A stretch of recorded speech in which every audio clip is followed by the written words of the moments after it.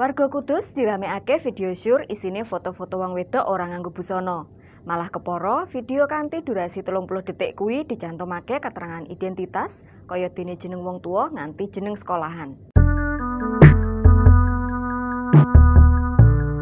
Video sing gawe geger warga Kudus kasebar ing maneka warna media sosial. Saka isine video, katon wong wedok turun orang nganggo busana. Video isi foto-foto syur kuwi uga diwenehi identitas kaya dene jeneng, alamat omah nganti jeneng wong tuane. Kanthi durasi 30 detik, video kuwi pradugane dilakoni dening salah sawijining bocah sekolah saka Kabupaten Kudus mergo ana katerangan jeneng sekolahe. Nalika dikonfirmasi pihak sekolah sing jenenge dicatut kaget ngenani video syur sing kasebar. Pihak sekolah bantah, pelaku video syur yaiku murite. Malah keporo, video syur bisa uga gawe nibakake lembaga, utamane jeneng sekolah sing dicantumake. Sawetara kuwi, miturut Kasat Reskrim Polres Kudus AKP Agustinus David, dheweke wis ngerti informasi ngenani kasebare video syur sing geger ing masyarakat. Pihake bakal nglakoni penyelidikan lan tindak lanjut kasebare video syur ing Kabupaten Kudus.